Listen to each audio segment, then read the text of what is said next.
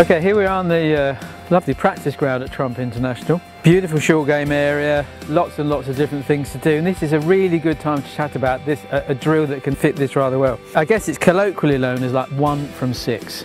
And the trick is that you take six, get as many golf balls as you can, but put six balls in as many different lines as you possibly can, and pick six clubs from your bag. I've used three wedges, so I've got all three wedges. I've got 48, 53, 58. I've got my uh, 7 iron, 5 iron, and actually I 5 wood as well. You don't want to put two clubs that are consecutive. You can't get 6 and 7, there must be gaps.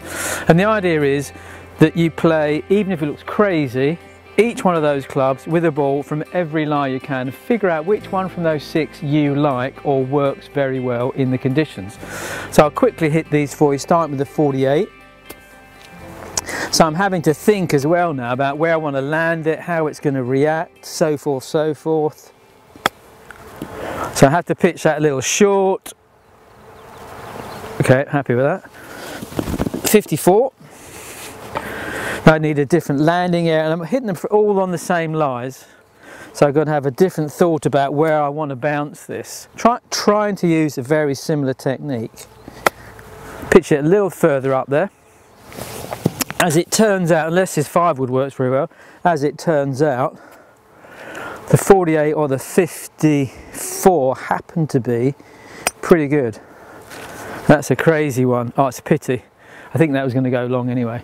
But you know, work with these clubs, as many as you can, different lies, and you'll figure out, you know, when you get in a situation on the course, you pretty much know what club you're like to get the best result with, and your scores are going to get better.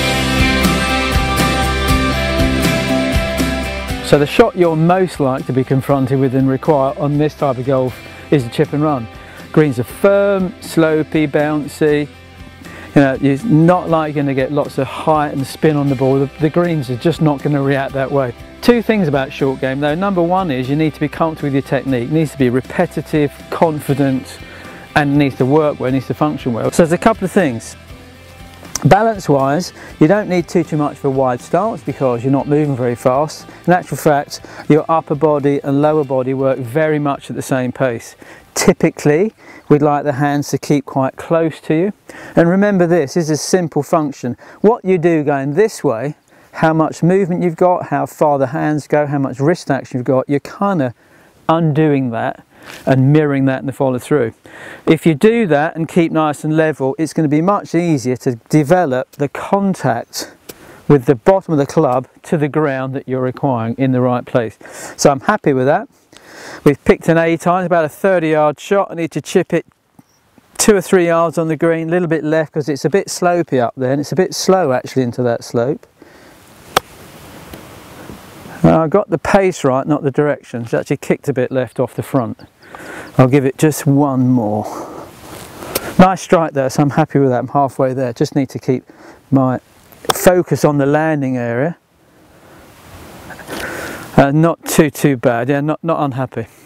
So keep things simple, keep things repetitive, and your score's are going to get better.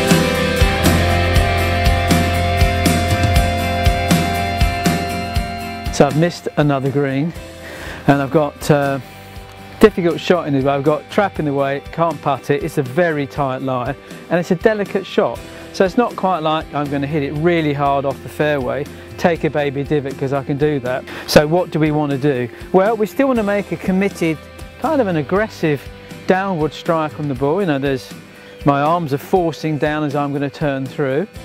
So if that's the case and I lean the shaft a little bit or increase that shaft lean to strike down on it, how am I going to not jam the club in? How am I, without the speed, how am I going to bruise the turf and still strike the ball off the tight line? And the critical thing is what this guy does, what this forward, the lead shoulder does.